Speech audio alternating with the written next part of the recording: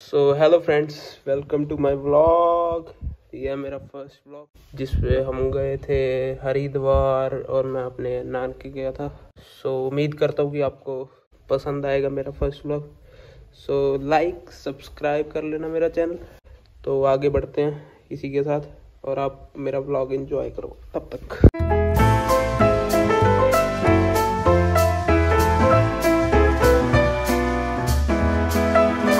So good morning friends so आज हम जा रहे हैं हरिद्वार अपनी पैकिंग करके और सामान गाड़ी में रख के। हम निकल लिए हरिद्वार के लिए, जो कि यहाँ से है 500 किलोमीटर दूर। और आज गाड़ी मैं ड्राइव करूँगा। और यहाँ पे इंडिया में मेरी फ़र्स्ट टाइम ड्राइविंग है, क्योंकि मैंने कभी कार ड्राइव नहीं की। और ये है मेरा छोटा भाई, जो कि थोड़ा बहुत फ़ेमस होने के लिए आया है। मेरे ब्लॉग में। ये देखो ये देखो क्या हरकतें पकड़ी।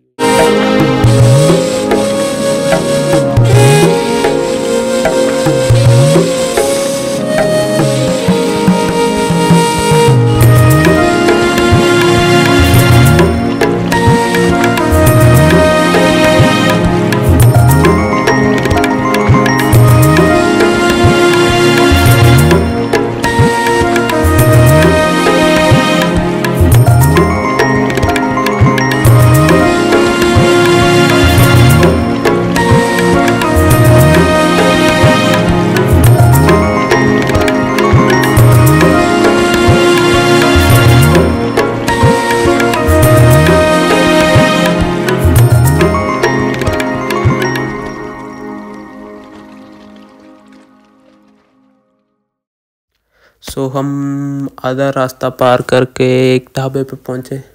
क्योंकि रास्ते में इतने ज़्यादा ढाबे नहीं हैं। तो हमने वहाँ पे चाय पी कुछ खाना पीने के लिए लिया। ये था हमारा ढाबा जहाँ पे हम रुके थे।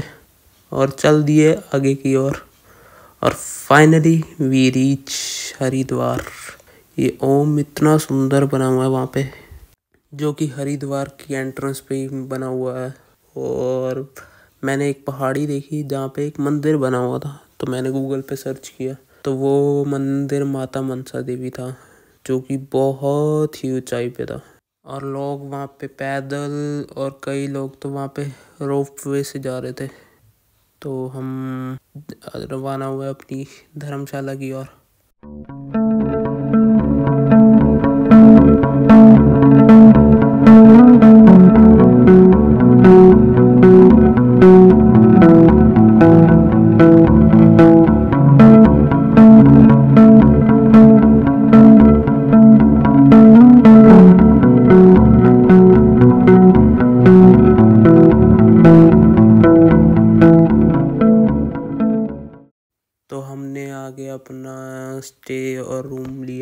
गोविंदगढ़ धर्मशाला में, जो कि हमने पहले से ही खन्ना से बुक कर दिया था। ये एक चैरिटेबल ट्रस्ट है, जो कि रूम प्रोवाइड करती है। हमें ये रूम पड़ गया अठारह सौ में विद फ़ूड तो हम सबसे पहले धर्मशाला में आके मंदिर में माथा टेका और जो कि धर्मशाला के अंदर ही मौजूद था, और हम चले गए अपने रूम में। तो ये था हमारा रूम जिसमें हमने अपना सामान रखा और रेस्ट किया और चल दिए भोजनालय की ओर। और, वहाँ पे हमने जाके खाया अपना खाना दोपहर का जो कि देसी घी से बना हुआ था और बहुत ही स्वादिष्ट खाना था। खाना खाने के बाद हम धर्मशाला से बाहर आके ऑटो पकड़ा और चले गए हर की पौड़ी की ओर। जब हम हर की पौड़ी पहुँचे तो देखा कि वहाँ पे तो अलग ही माहौल है। इतनी ज़्यादा भीड़ और सभी लोग यहाँ पे स्नान कर रहे हैं शाम के टाइम।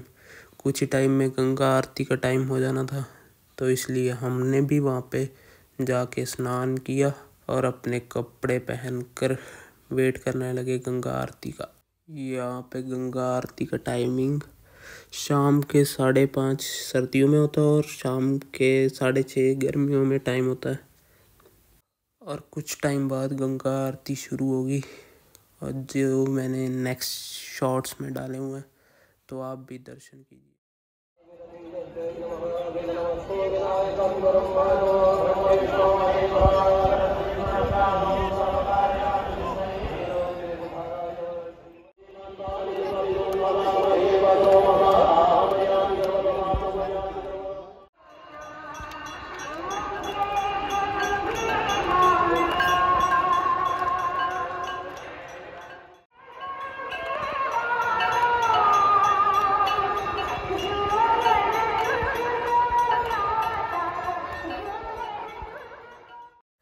तकरीबन सात बजे गंगा आरती समाप्त होगी और हम निकल लिए बाहर की ओर और, और अपने जोड़े पहनकर चल दिए मार्केट में कुछ खाने पीने के लिए और कुछ शॉपिंग के लिए।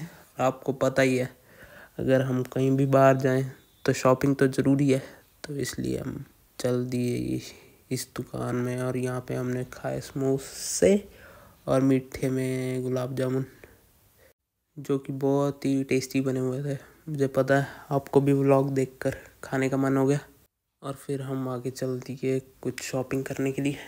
फिर हमने कुछ कपड़े खरीदे और मैंने अपने लिए एक रुद्राक्ष का ब्रेसलेट ख़रीदा।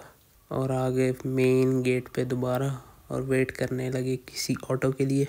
और ऑटो पकड़कर हम चल दिए अपनी धर्मशाला की ओर।